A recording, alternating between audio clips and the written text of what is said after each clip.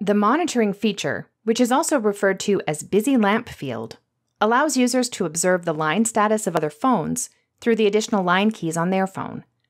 Users can also quickly dial a monitored phone simply by pressing the associated line key on their desk phone. In Control Hub, select the Users tab and find the user you'd like to modify. Select Calling, and then Advanced Call Settings. Select Monitoring. If you'd like the monitored user to be notified of calls parked on their line, check this box.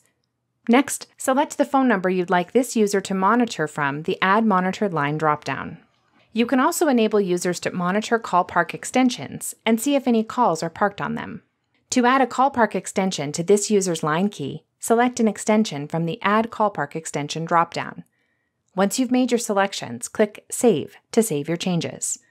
Please note, the maximum number of monitored lines is 50. However, bandwidth should be considered when setting up the monitoring feature for users. The maximum may also be determined by the number of line buttons on the phone.